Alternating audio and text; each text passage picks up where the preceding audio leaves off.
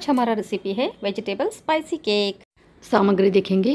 एक कप है, मैंने बारीक सूजी लिया है, आधा कटोरी दही, उससे भी आधा यानी वन फोर्थ कप तेल सॉल्ट एक बारीक कटी हुई ऑनियन एक बारीक कटी हुई गाजर, एक बारीक कटी हुई टमाटर, एक बारीक कटी हुई कैप्सिकम थोड़ी सी कोतमीर गार्निशिंग के लिए जीरा एक चम्मच, अदरक लहसुन छोटे छोटे काट के रखा है मैंने, दो छोटे छोटे काटे हुए मिर्ची और थोड़े से कटे हुए पनीर,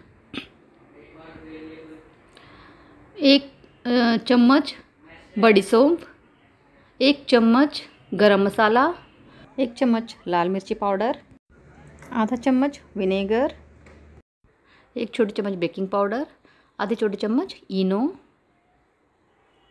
अब हम एक बाउल में रवा डालेंगे और तेल डालेंगे और अपना दही डालेंगे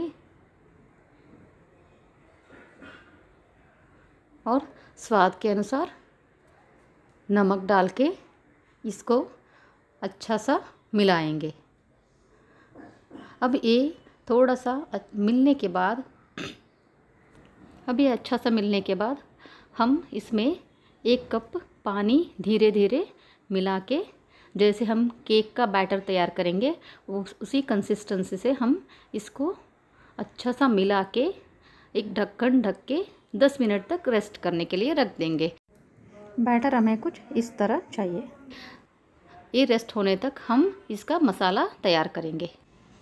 अब हम कढ़ाई में वन फोर्थ कप तेल डालेंगे। यानी कि दही जितना लिया था, उतना ही हमें तेल यूज़ करना है।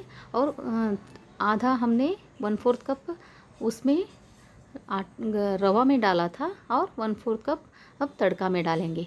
और बाकी सारी चीज़ें हम इसमें एक एक करते हुए डाल के हल्का सा फ्राई करके रख देंगे। ज़्यादा नहीं करना है, जैसे हम प्रैक्टिस के लिए करते हैं, वैसे ही इसको भी हल्का सा भुन के तैयार करना है। इसमें हम कोतमीर और हरी मिर्ची, पनीर, इसको छोड़ के बाकी सामग्री डाल के हम हल्का सा भुन के निकाल देंगे। दोस्तों, एक बार इसे बना के देखिए, बहुत ही बढ़िया रहेगा। अपने ढोकला से भी ये ज़्यादा टेस्टी रहेगा और मज़ेदार भी रहेगा। अब हम इसमें लाल मिर्ची पाउडर नमक और गरम मसाला डालेंगे। आप चाहे तो ब्लैक पेपर पाउडर भी डाल सकते हो या खलुंजी भी डाल सकते हो, हल्दी भी डाल सकते हो। आपको जो मसाला पसंद है, वो भी आप डाल सकते हो या पाव भाजी मसाला भी आप डाल सकते हो। इससे और भी इसका टेस्ट बढ़िया बनेगा। अब हमारा मसाला बन के तैयार है।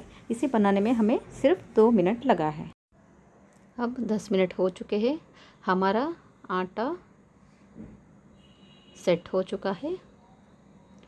अब हम इसमें बाकी सामग्री डाल के मिक्स करेंगे। हम इसमें डालेंगे बेकिंग पाउडर, एक चम्मच, छोटी चम्मच, सोडा, मैंने यहाँ पे इनो लिया है। और विनेगर लिया है। आप विनेगर से ज़्यादा अच्छा लगेगा अगर आधा नींबू इसमें निचोड़ के डालेंगे तो। नींबू से इसका स्वाद और भी बढ़िया बनेगा। दोस्तों, आपके घर में जो सामग्री है, उसी से आप आसानी से स्पाइसी केक बना सकते हैं। बच्चे वेजिटेबल्स खाते नहीं हैं। अगर ऐसा केक बना के देंगे तो बहुत ही बढ़िया लगेगा। एक बार इसको अच्छा सा मिला के आप इसमें दो चम्मच शक्कर भी डाल सकते हो। मैंने डाला नहीं है। आप चाहे तो डाल सकते हो। शक्कर से इसका स्वाद और भी बढ़िया बनेगा। सबसे और कुछ भी मैं, जैसे मैदा, बेसन, जो पसंद हो आप इसमें एक चम्मच या दो चम्मच डाल सकते हो। अब हम एक केक मोल्ड लेंगे। उसको अच्छा सा तेल से ग्रीस करेंगे। थोड़ा सा मैदा स्प्रेड करके मिक्सचर इसमें डाल के हल्का सा टैप करेंगे। कटी हुई पनीर पीसेस कोतमीर और हरी मिर्ची इसके ऊपर स्प्रेड कर देंगे।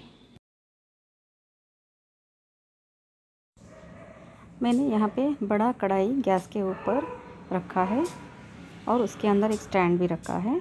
इसको पाँच मिनट पहले प्रीहीट करने के लिए रखा है। अब हम अपना मिक्सचर का बाउल इसमें रख देंगे और ठीक पंद्रह मिनट तक हम इसको बेक करेंगे।